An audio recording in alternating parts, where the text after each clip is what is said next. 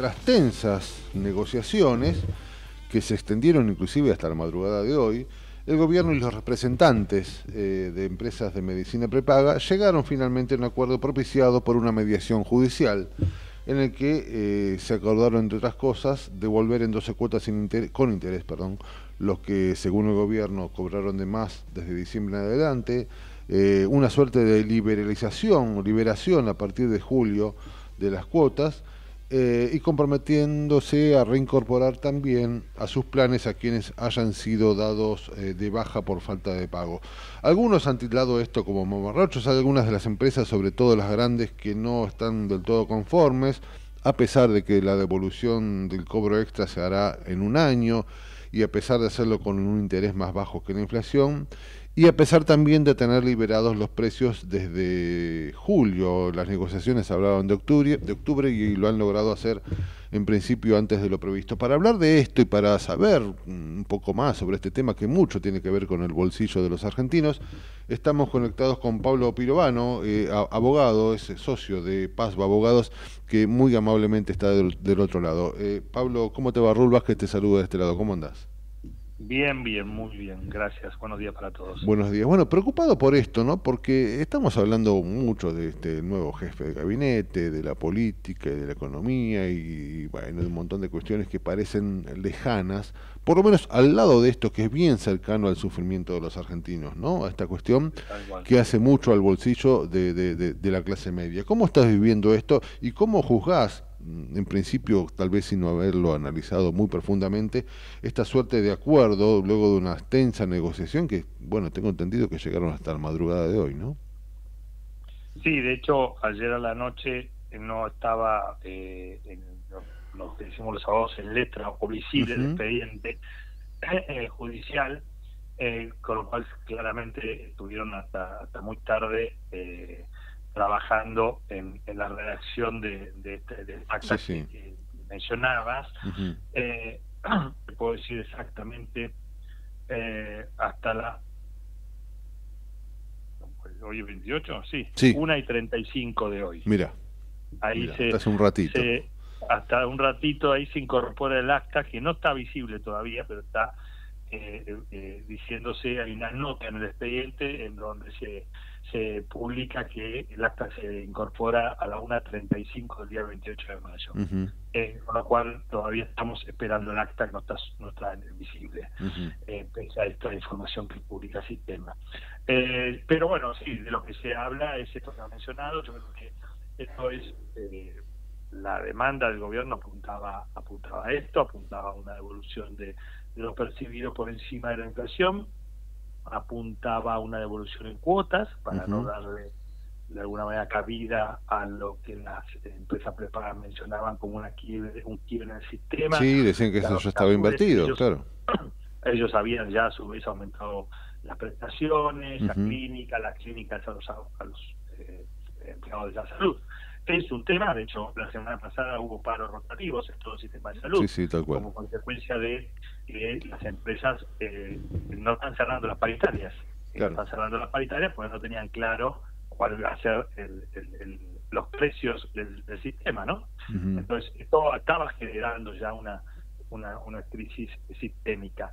Eh, creo que la, el acuerdo es, es eh, debe bienvenido, más allá que a algunos no les guste cómo quedó la devolución o, que hay que devolverlo con intereses, a otros no nos guste que, que va a liberar el precio a lo mejor en julio, o a algunos no guste eso. Eh, va, a haber que, que, estar muy, muy en la expectativa de cómo se comporta el sistema. Yo creo que el sistema debe tener precios desregulados, así funciona siempre. Eh, y, y, y, la mejor forma de volver a tener un sistema de salud privado eh, de alguna manera eh, eh, eficiente. sí, lo, que ocurre es que la gente tiene, la gente tiene, Pablo, cierto temor a eso porque, bueno, cuando se anunció la liberalización pasó lo que pasó, ¿no? Sí, no debemos olvidar que el sistema es privado, ¿no? Claro. pese a que hay 6 millones y medio de personas dentro del sistema, es un sistema que nació como consecuencia de que muchas personas no estaban o no, estaban dentro del sistema el sistema de obras sociales ni, pretendían estar en el sistema público que ese es el sistema eh, digamos natural de salud. Se lo presta el Estado, para eso nos cobra los impuestos que nos cobra, pues supuestamente tenemos un sistema público y semipúblico de salud. Por algo a los empleados, los empleadores le hacen aportes a las obras sociales y a su vez ellos hacen contribuciones a las obras sociales. O sea, nuestro sistema, eh, eh, digamos, original eh, es, el sistema público y semipúblico. Este nació en la década del 70 a partir de inquietudes más de la clase alta en cuanto a tener un mejor sistema de salud. Y después, debido a la degradación que fue teniendo el sistema público y semipúblico en Argentina, a partir de la década del 80 empezaron a crecer. Sí, se incorporó más gente. Eh, eh, y, después empezó a ser regulado. A partir de los últimos 10 años empezó a regular el Estado como si fuese un sistema semipúblico. Y ahí empezó a caer el sistema. De hecho, ¿cuántos médicos se han ido al sistema ya privado a cobrar particular? Hoy no no no hay dentista que no te cobre un, una diferencia o todo por algo sí, sí, sí, por alguna prestación por decir algo sí sí vos tenés que hacerte una operación vos tenés que hacerte una operación y más allá de lo que te cobra la, la, prepaga el médico o su equipo cobran aparte ¿eh? ese es un problemón eso no existía. Entonces yo creo que el sistema tiene que estar desregulado va a ser obviamente más caro que hace dos años un año y obviamente tiene que redundar en una mejor también eh, eficiencia y prestación del sistema. Y bueno después veremos eh, cómo se acomoda la, posibilidad de que la gente que estaba en el sistema permanezca en función de sus ingresos que eso es un nuevo problema pero ya es más económico sí el, gobierno lo que ha hecho es, es utilizar las herramientas legales que tenía de mano. Frente a la desregulación hubo a criterio del gobierno por denuncias e investigaciones en en defensa de la competencia, una suerte de cartelización, que eso sí no se, está prohibido, eh, digamos, pactar precios está prohibido, está penado por la ley de defensa de la competencia, y esa investigación calculo que es lo que las empresas preparadas han querido que continúe, va a ver qué pasa, si continúa o no, porque eso le puede recaer sanciones millonarias a, que se pudieron haber cartelizado. Sí, tengo entendido que es el punto más este, álgido de la negociación, esto de este, la eventual cartelización de la, la Comisión Nacional de Defensa de la Competencia, ¿no? que, parece que se va a mantener. Y bueno, claro, porque eso es de orden público. Claro. Entonces, no puede desistirse sin más, salvo que haya eh, un acuerdo en donde, por ejemplo, reconozcan la cartelización y paguen una, acuerdo por el Estado una multa por ejemplo, ¿no? Como si a nivel penal un aprovechon. Claro. Pero acá van a ser sumas más importantes. Y a partir, Pablo, de tu... Está diciendo que no hubo esa caracterización, salió a declarar el actual presidente de, la Asociación de Salud Argentina diciendo que eso no era así. Eso se seguirá investigándose. Y a partir, Pablo, de, tu experiencia, de lo que sabes del tema, bueno, de esto que se, que se ha resuelto y de lo que han firmado, más allá de, algunas cuestiones que, estarán por verse, pero en principio, este, bueno, se han comprometido a recuperar sus planes a quienes este, hayan sido dados de baja por falta de pago, esta idea de devolver el dinero. Eh, y, y Pablo, creo que se nos cortó, ¿estás ahí? No, se nos cortó. Bueno, estábamos con, con Pablo Pirovano, ahora seguramente trataremos de, retomar la comunicación. Se, se, ha cortado, nos comentaba y nos daba cuenta de esto de la idea ya de un acuerdo en el que se va a devolver en 12 cuotas con interés lo que, según el gobierno, cobraron de más hasta diciembre en adelante, ¿no? Eh, y entre otras cuestiones, ahí lo tenemos a Pablo nuevamente. Pablo, ¿estás ahí? Sí. Sí, sí, se, cortó, se cortó, fue, fue breve. Igual te, comentaba yo que a partir de lo que vos sabés y de tu experiencia y de, estar muy al tanto en esta cuestión, y más allá de lo que se ha firmado, bueno, esto de la reincorporación a los planes este, a quienes ya han sido dados de baja, esta idea de la. todo un tema ese es todo un tema también. La devolución, si bien con un interés menor en la inflación, pero devolución al fin y demás. Eh, esto que está por verse también de si es cartelización o no.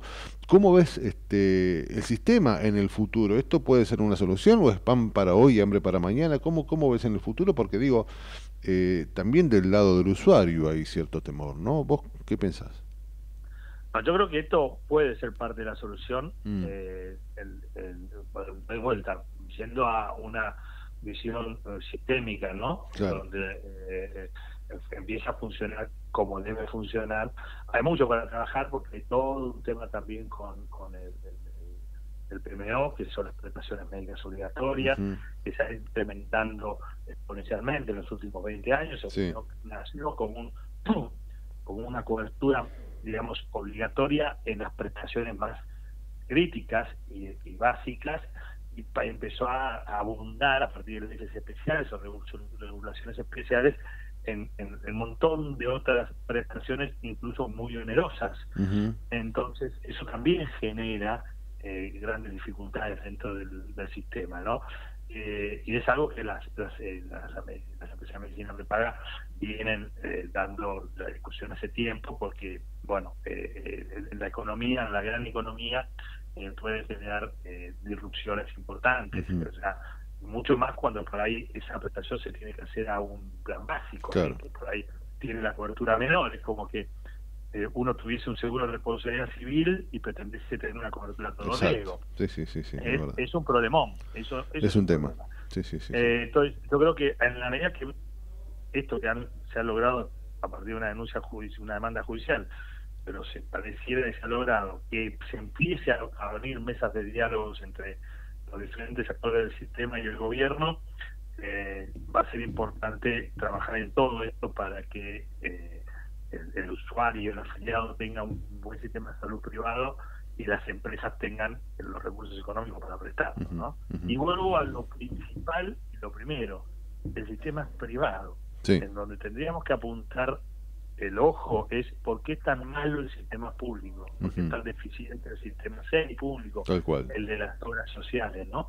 Que, que nos expulsa gente de ese sistema que además de tener que pagar un aporte, o perder parte de su sueldo para lo que aporta el empleador, no, pues necesita para el empleado. Si claro. tengo que, me sacan de mi sueldo una parte y además en mi empleador pone otro tanto que me podría dar a mí, eh, ese, ese plata para que no sea deficiente eh, eh, no, no, funciona. Y, ni hablar de lo que es la parte impuestos y aplicar el público, ¿no? Sí, sí, sin dudas. Eso es algo en donde, bueno, llevará mucho tiempo este seguramente volver a, a tener un sistema de salud más o menos coherente. Este, nos hemos encargado los argentinos de destruirlo. Claro, tenemos que entender que lo principal es que el Estado ponga foco en educación, en, salud, en seguridad y, dejar de poner foco en cuántas bombitas se importan o se, exportan. Coincido. Eso es algo importante. Coincido, coincido. Pablo, ha sido como siempre muy amable y seguramente este cada vez que suceda algo con este tema estarás ahí bien agendado para, para volver a molestarte. Dale. Bueno. Por favor. Un abrazo, un abrazo muy grande. Era Pablo Pirovano, abogado que nos a quien consultamos generalmente cuando ocurren estos temas sobre, sobre las privadas que tanto han estado este, en boca últimamente. Lo más increíble de esta película, digo yo, eh, o no increíble, pasa a ser por lo menos este, algo paradójico, es que eh, en un gobierno, gobierno, digo supuestamente o claramente pro mercado y pro capitalismo, terminó haciéndoles devolver eh, plata al sector este, privado, ¿no? contradicciones, qué sé yo.